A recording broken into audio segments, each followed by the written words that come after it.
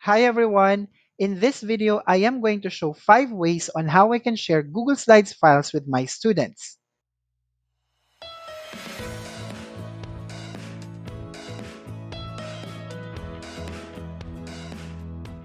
Before I begin, let me first show you this example file that I am going to share with my students.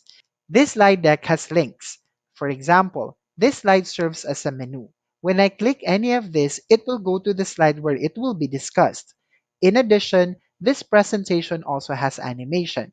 At the end, I have a slide for references, wherein if I click any of these links, I will be directed to a different website. I am going to show five ways on how I can share this Google Slides file with my students. What I want to happen is to allow them to view the content, but they will not be able to move, change, delete, or add contents on this file. They are only expected to view this as a material that they can study. The first method is to download a PDF equivalent of this file.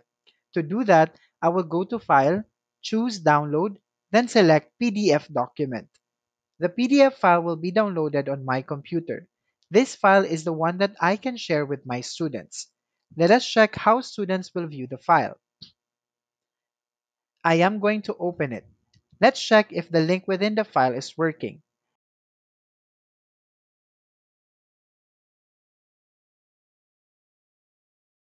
Yes, it is. However, this option will work best if there is no moving graphics, animation, and slide transition as they will not be available. Let us also check the references link.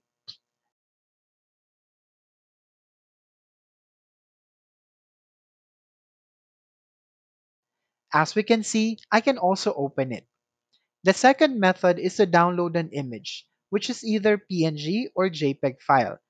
To do that, go to File, pick Download, and choose any of the two image file formats. For this demo, I will download JPEG. There are some disadvantages using this option, like hyperlinks are not available, no animation, no moving graphics, and you can only download an image one at a time. The third option is to create a link that can be opened by students just like how they open websites. What I will do is to publish to the web. This pop-up window will appear. This is where I can specify the settings, like what will happen if the student presses the play button in the presentation toolbar. I am going to leave the default as is. I will press the publish button. I will be asked if I am sure to do this action. I will press the OK button. A link will be provided. I will copy this link and will share to my students so they can view this file. Now let's check what the students will see. Students will paste the link to the address bar or I can put the link to the Google Classroom so they will be able to access it by just pressing a link. What they will see is a presentation view of the Google Slides file. They will not be able to access the editor view anymore which is a good thing because I don't want my students to make changes in the slide.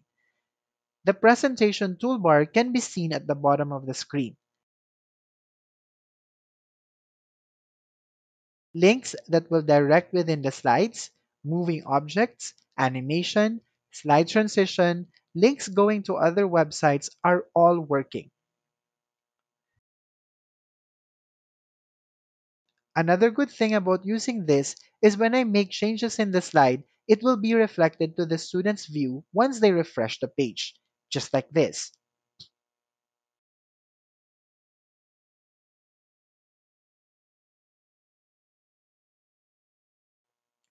Now, what if I need to stop my students viewing the file? I just have to go back to the File tab and select the Publish to the Web option. I will click the Stop Publishing button and confirm the action. The fourth way is by using the shareable link. I will click the Share button located at the upper right corner of the screen. Under the Get Link area, I will click the Change Anyone with a link. Notice that this drop-down menu appeared. This is where I can specify the visibility of the file on the internet. When the drop-down arrow is clicked, options will appear, like Restricted, Anyone with a link, and if you are a registered G Suite user, you will see another option which will allow you to restrict the visibility within the school domain. In this demo, I will select anyone with a link. On the right side, I can set the accessibility of those who will use the link. Options are viewer, commenter, and editor. Since I want my students to view the file only, so I am going to select the viewer option. I will copy the link, then I will press the done button. The link that was copied is the one that I need to share with my students so they can view the file. Let's check what the students will see on their end. My students will see the file in Google Slides application. They need to press the Present button in order to view it in presentation mode. All the links, moving graphics, object animations, slide transitions are working properly. Let me share tips on how the students can automatically see the presentation view. We just have to change some text in the shareable link that we are going to give to the students. And that can be done by simply removing the text that starts with edit and replacing it with preview. Let's try.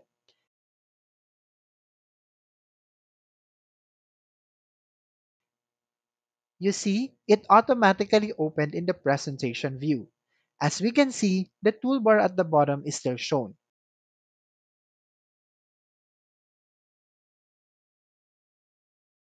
If you don't want that to appear, we simply add these characters after the word preview. The toolbar is usually removed if you want to require the students to just select the links on the slide instead of moving from one slide to another using the toolbar.